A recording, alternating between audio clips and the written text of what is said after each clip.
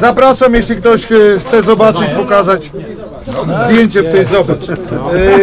E, Dwie dziesiątki, dwie dziesiątki. Panie Robercie, Panie Robercie, kto tak? To, to jest dobre?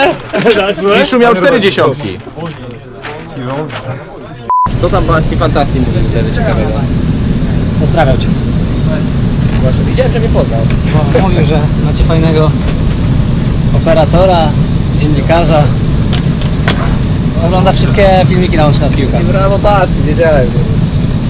Teraz może, możemy wyjaśnić wszystkim strategię, jaką zastosowaliśmy, dlaczego publikowaliśmy taki jeden rzut wolny z treningu twój. Tak naprawdę to była wszystko było... prawda? Tak, Grosio mnie zdenerwował tym komentarzem i musiałem mu pokazać, no, że na treningu czasami się trenuje rzuty wolne, coś nowego się szuka, a na meczu się podchodzi i strzela.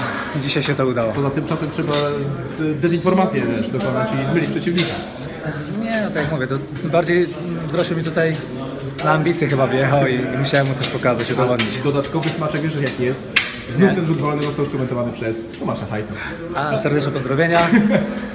On za, to, to. Tomek zawsze, był- zawsze był technicznym zawodnikiem, więc wie jak to jest. I zawsze w to wierzył, że Tak, strzelać wolny. zawsze trzeba wierzyć do końca.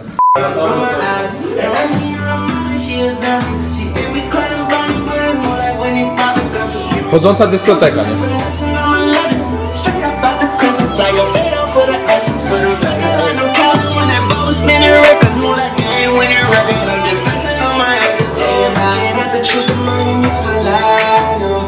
To po co wam wazelina?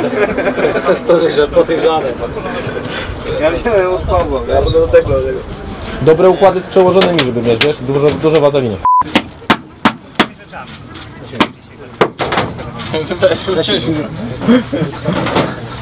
Okej. No weź tak zawsze, już co kamera już teraz nie. Nie, nie przy kamerze, no. Kamerze. genç Arap oluyor.